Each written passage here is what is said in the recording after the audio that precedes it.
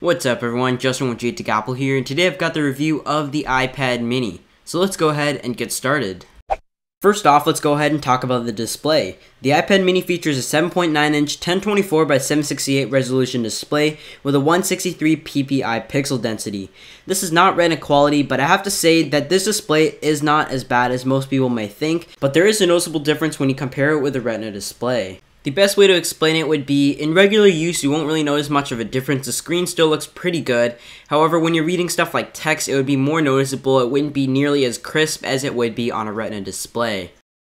Taking a look at the back, the iPad mini has a nice anodized aluminum construction which is very durable, and the back is a nice slate color, depending on what color you get, either the white and silver or the black and slate like you see right in front of me. On the bottom, the new iPad mini has the redesigned lightning dock connector as well as a set of great sounding stereo speakers that are overall pretty loud and actually surprised me in terms of the quality. Now taking a look at the camera, the iPad mini takes great video and stills. The iPad mini can take 5 megapixel stills and full HD 1080p video recording. On the front, you've got a 720p HD video recording FaceTime camera that can take 1.2 megapixel stills. This is great for conference calls, FaceTime, and Skype.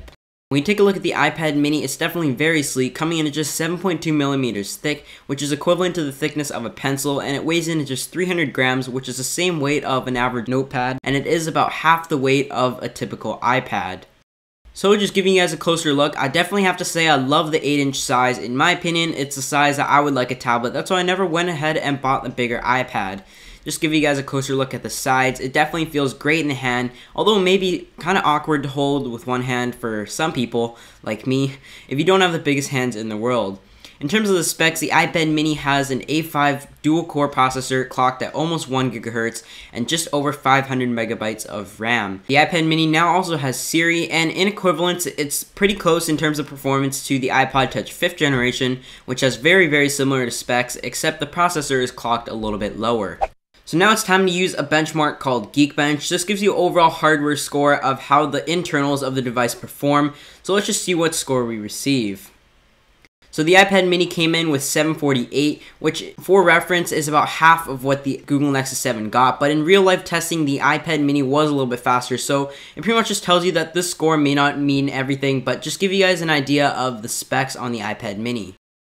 Moving on, I'm going to go ahead and test out a website here. Let's just type in apple.com. And if you want to see how fast it was compared to other devices, go ahead and check out my comparisons. But just let you guys take a look here. It's definitely very, very fast, an improvement from the A4 processor.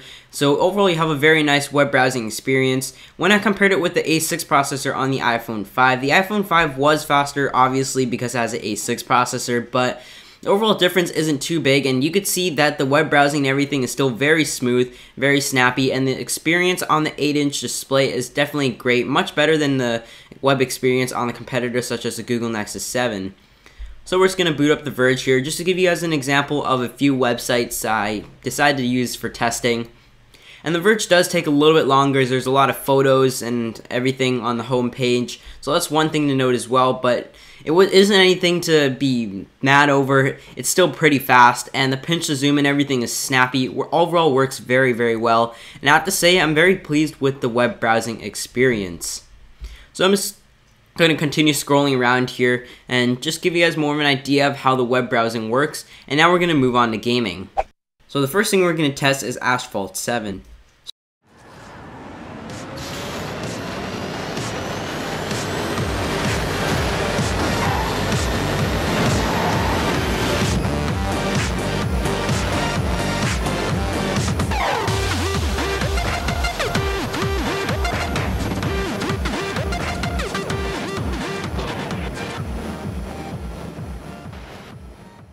So this game performed very nice on the iPad mini. The graphics look great. It performed a little bit better than it did on the iPod Touch 5th generation, but I have to say the gaming experience was great so far. So next up is Infinity Blade 2. As a lot of you may know, Infinity Blade 2 is probably one of the most detailed graphic intensive games available on the App Store, so this is a great way to test out the performance on the iPad mini.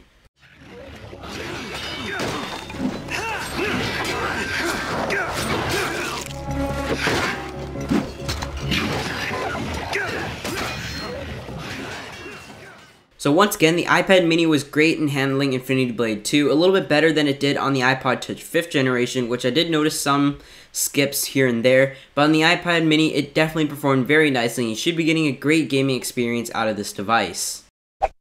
So what do I think about the iPad mini? I know a lot of people will be deciding whether or not to get the iPad mini or the Google Nexus 7, and it may seem like an easy choice to go straight for the Google Nexus 7 due to the fact that it's about $130 cheaper for the same amount of storage, and the fact that it has a quad-core processor and double the RAM, and the overall benchmark score scored about double the iPad did. But in real life tests, as you saw probably in TLD's video, the graphics rendering, the games, and everything did perform better on the iPad mini despite the fact that it only scored half of what the Nexus 7 did in Geekbench. So, it really doesn't matter what specs these two devices came out in, but I think the iPad mini is a better tablet. Not trying to be a fanboy here, but in all honesty, pretty much the biggest reason why I went for an iPad is due to the fact that it has tablet optimized apps, which is something that the Google Nexus 7 doesn't have. It pretty much just runs some scaled up mobile apps like you have on your Android phone, just put up to about a 7 inch. And some of you may like that, but in terms of my opinion, the iPad mini has great apps. The overall tablet optimized app look much more developed, and the user interface is great on the iPad mini. The web browsing is also really nice, and the extra inch of real estate in terms of the screen may not seem big to most people, but I do notice a difference, and I do think that the extra one inch of screen gives you much larger experience in terms of running applications, and web browsing also just loads up more of the page, and the experience on the iPad is just much more developed, and I know a lot of people were criticizing the fact that Apple um, even made a mini iPad. I definitely think it's really great, and I think 8 inches is a perfect size for me at least, and this would be something that that I'd use every day.